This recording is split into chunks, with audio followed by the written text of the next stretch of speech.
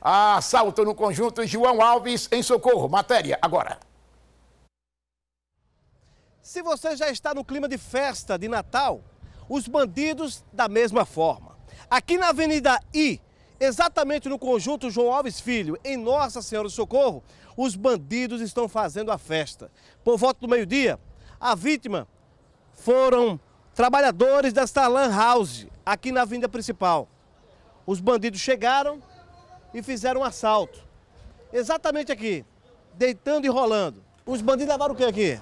Dois celulares de cliente. É umas 11h25 da manhã. Por volta do meio-dia, né? É, por volta do meio-dia. E eu já fui roubado duas vezes no início do ano, né? Levaram seis aparelhos de videogame, um valor de quase 30 mil reais. E a polícia? Ocorrência, tenho tudo aí. E a polícia? Não nada, não, dá, não vem, não aparece polícia de jeito nenhum aqui. Antigamente ainda de meia e meia hora passava, e hoje a gente passa é, só quando acontece uma morte assim, aí eles botam a fiscalização, mas é uma raridade. Hoje você, o seu pode passar aqui uma hora, aqui não, não passa um carro de polícia.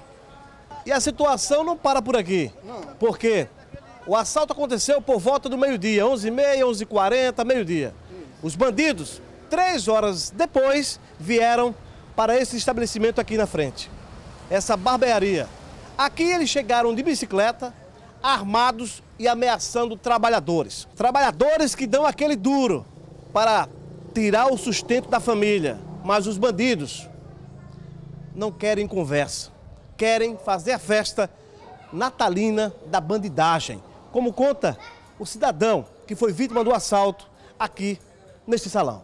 Ele chegou, os dois, aí um ficou ali por detrás, aí eu estava aqui, o rapaz estava sentado ali, tinha um cliente esperando ali, aí ele, eu perguntei, vai cortar o cabelo? Ele disse, vou. Aí eu me levantei, e quando me levantei ele mostrou a arma e disse, bora, bora, é um assalto. Aí eu fui entregar o aparelho a ele, ele chegou e, não, entrega o rapaz aí. Aí pegaram os dois, entregamos para o aparelho e ele foi embora.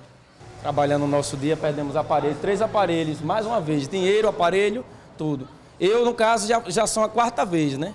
Três vezes foi aparelho celular e dinheiro e outra vez foi um carro. Um carro que eu tinha que até mesmo eu já desfiz do carro.